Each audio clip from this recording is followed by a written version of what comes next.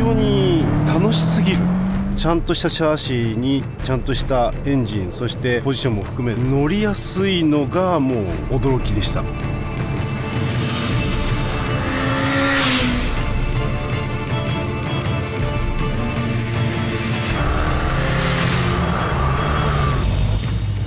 エンジン、GSXR 系統伝統のこの K5、非常に乗りやすいエンジンを搭載して出てきました。この K5 選んだ理由はやっぱりねこのロングストロークがもたらすトルクの粘り低回転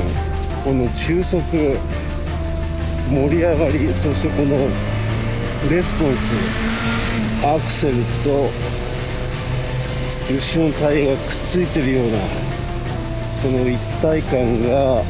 安心感を生み出してます、えー今日、えー路面濡れてます、えーそして落ち葉がいっぱい落ちてるんだけども、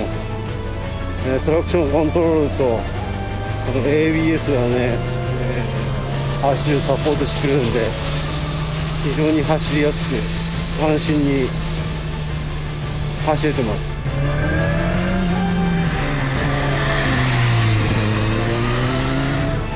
このハンドをはじめとするこのポジションの作り込みが非常に今日、まあ、もちろんこの刀に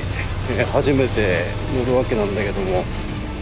うねスッと馴染むポジションのね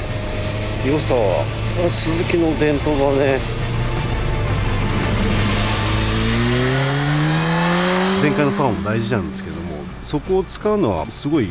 少ない時間であって多くの時間は前平からちょっと開けたところであのパラパラ感っていうのが欲しいんですよすごく。エンジンが燃えてちゃんとこうチェーンが張ってリアタイヤにこうちょっとずつこう荷重がかかるっていうような過程がすごく大事なんですけどもこのね刀ね実はそういう多分ソフトがこっそり入ってると思うんですよ。実は入ってます。やっぱり、はい。俺はねあの感動したんです実を言うと